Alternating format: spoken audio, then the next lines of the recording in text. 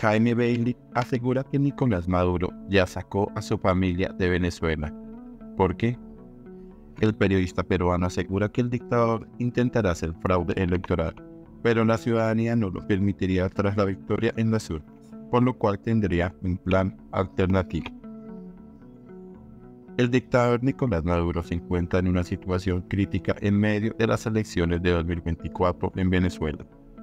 Con la tensión con la ciudadanía es clara y existen rumores de una estrategia para mantenerse en el poder o, en caso de necesitarlo, escapar del país y pretende quedarse en el Palacio de Miraflores, desconociendo los resultados de los comicios o ejerciendo maniobras ilegales para cambiar el destino de las urnas. El escritor y presentador peruano Jaime Bailey ha sido una de las voces más claves en ese sentido, asegurando que el mandatario ya ha sacado a su familia del país ante la inminente derrota electoral frente a Edmundo González y el rechazo del pueblo a un posible fraude cometido por el régimen que, tras 11 años, buscaría quedarse un tercer periodo más en Venezuela. Una vez se anuncie el fraude a favor de Maduro, el dictador sabe que no es del todo viable no es del todo probable que el país entero recepte el fraude. Como está asustado, ha sacado ya a su familia de Venezuela y sabe que si los militares insurgentes se levantan, tendría solo dos probabilidades, afirmó Bailey en un video difundido en su canal de YouTube, que también se ha hecho famoso en otras redes sociales.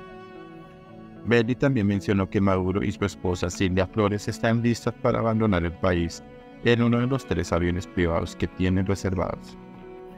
Ellos saben que si la próxima semana Mauro y Silvia tienen que huir para no terminar encerrados en una mazmorra, lo harán en uno de los tres aviones privados que están reservados para Mauro y su familia, concluyó el periodista peruano. El plan de Maduro.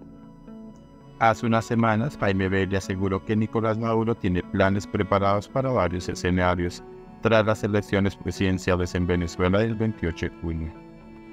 En un video publicado en YouTube, Bailey afirma que el dictador venezolano Maduro tiene una fortuna oculta en Turquía que podría ascender a entre 4 mil y 5 mil millones de dólares. Además posee una villa, una mansión enorme en las afueras de Estambul.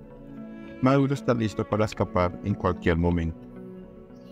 Bailey señala, Maduro sabe que las elecciones del 28 de julio representan un riesgo altísimo para su permanencia en el poder él y sus seguidores están conscientes de que si las elecciones fueran limpias, la oposición democrática ganaría por un amplio margen. Además, Bailey advierte que el fraude ya está en marcha, un gigantesco, colosal e impúdico fraude chavista, uno de muchos en 25 años de dictadura.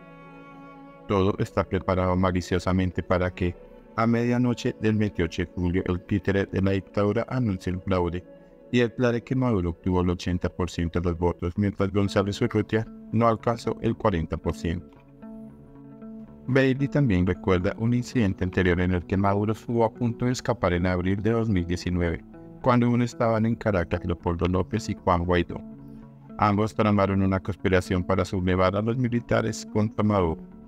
Sin embargo, los rusos lo convencieron de quedarse asegurándole su apoyo en caso de una guerra civil. Así Maduro, aunque cobarde, permaneció en el poder.